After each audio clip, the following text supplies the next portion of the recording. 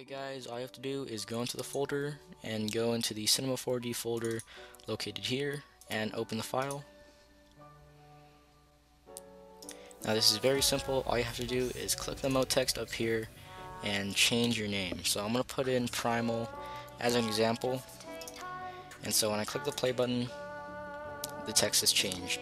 Now sometimes uh, the text isn't fully centered so all I have to do is click the MoText again and then go to the live selection tool and center it. Now you see there, if I click the play button again, looks perfectly fine.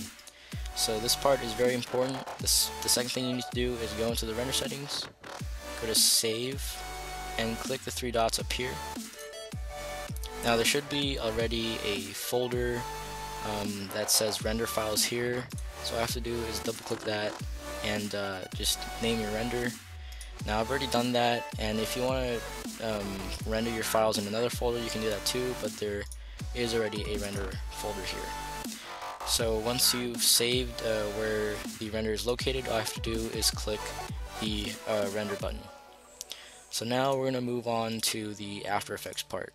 So this might be a bit laggy on your screen because I am recording but um, all you have to do is go up here on the project uh, window and this is going to be different for you because um, it's going to say that these files are missing so all you have to do is right click the missing files so first you'll see the render that um, you just rendered out. It should be a .png file. So right click it and replace footage. Or re yeah replace footage and file. And you should go into the render file folder and select the files that you just rendered out.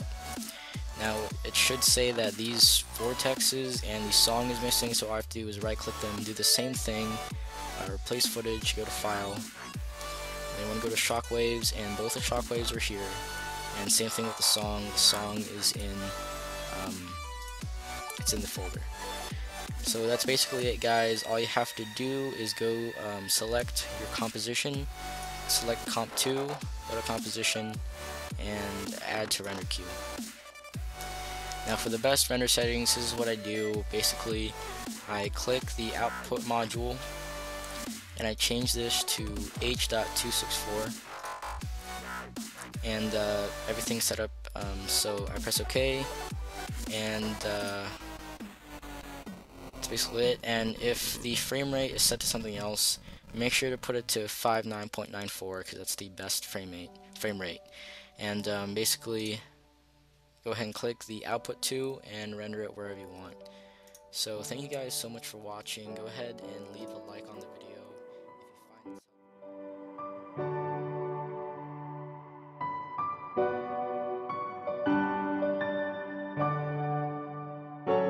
For fire makes my city rose